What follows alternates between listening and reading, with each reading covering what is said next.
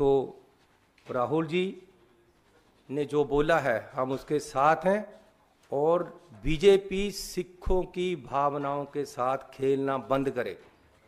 कुछ ऐसे सिख जो गदार तरीके से काम करते हैं बीजेपी में जाकर, उनको आगे खड़ा करके राहुल गांधी जी के जिस तरीके से खिलाफ बोला जा रहा है और धमकियाँ दी जा रही हैं और जान से मारने तक की धमकियाँ दी गई हैं, ये देश की डेमोक्रेटिक सिस्टम के लिए अच्छा नहीं है।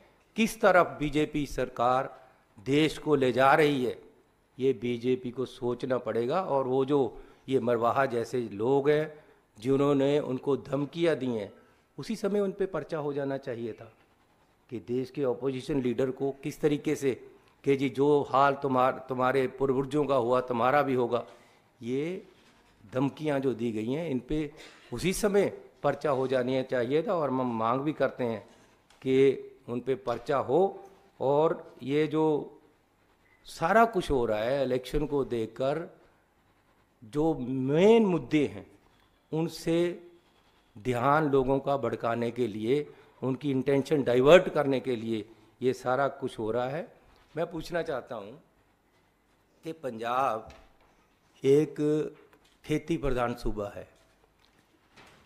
बहुत तरीके से पंजाब को तहस, उस वहाँ की अर्थव्यवस्था तहस कर, तहस नहस करने के लिए किसानों के खिलाफ कार्रवाइयाँ की जाती उनके खिलाफ काले कानून लेकर आते हैं।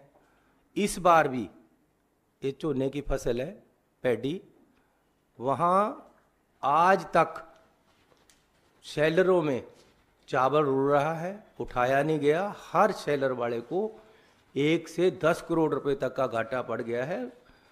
सरकार चाहती है कि पंजाब में खेती ना हो, इसलिए खेती वालों को हैरान किया जा रहा है, उनको परेशान किया जा रहा है, उनके बिज़नेस खराब किए जा रहे हैं, उनकी फ़सल उठाई नहीं जा रही।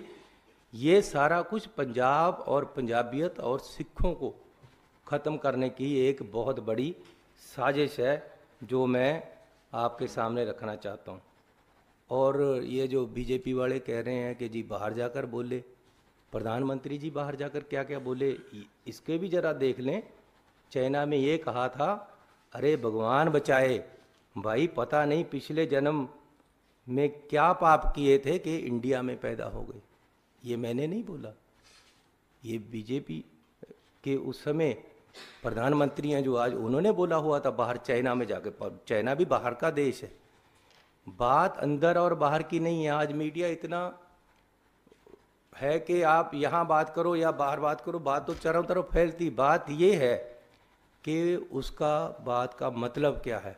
मतलब ये है कि आने वाले समय में मिनोरिटीज़ को देखने के लिए भी कांग्रेस पार्टी उनके साथ खड़ी है और राहुल जी ने जो सिखों के हक में बात की है, सिख उससे आभारी है और हम उनके जो बयान है उसके साथ है। धन्यवाद।